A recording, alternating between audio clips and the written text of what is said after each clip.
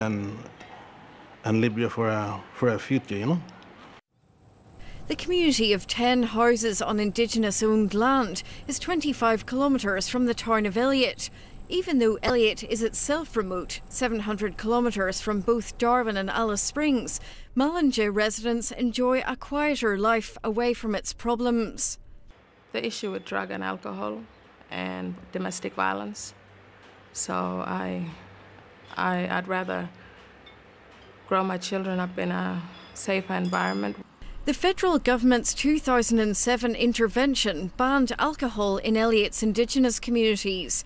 So community residents can only legally drink in the town's pub or a designated fenced paddock.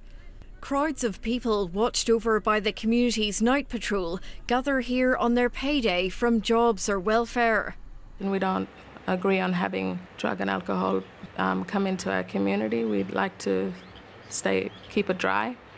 They like the peace, but many of Marlinja's residents live in squalid conditions. Half of the houses here aren't connected to water supplies. Residents are having to use garden hose connections to other houses. The hose we we hooked up and that's, that's, that's basically we get the water from. Raymond Dixon has low water pressure and a house that hasn't been repaired for years. We're just asking for the government just to do renovation, just help us put our water back, you know. Marlinja resident Raymond Winsley retired here after years working on cattle stations. He lost his leg in a dairy farm accident aged 15. He's worried about his plumbing. And it goes through the toilet, feeding the water into the system, Yep. And back around the same pipe, back around, and goes into my kitchen. Right. Now, is that hygiene? Raymond Winsley says some time ago a territory government representative offered him new door handles and lights, but not the major repairs his house needs. I don't know when the government's been here last, so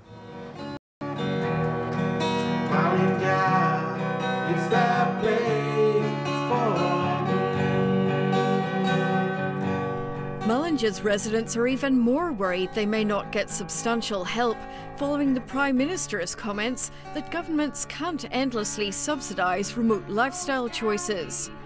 They say closing the gap means by providing a better future for our children, by introducing new programs and stuff would help. And they should look at look at it really clear. They should come out and see what our problem is, how we're living.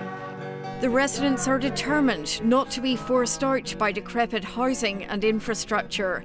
Jane Barden, ABC News, Marlinja.